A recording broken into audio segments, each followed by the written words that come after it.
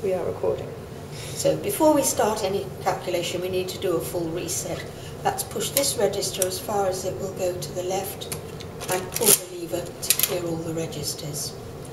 We're going to multiply 842 by 123.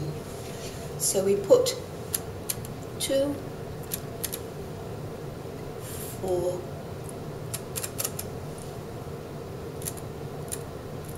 8 into the register and that shows up there.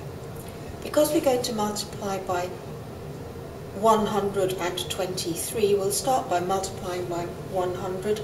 So we move this register two places to the right and then turn the handle once. So we've multiplied by 100.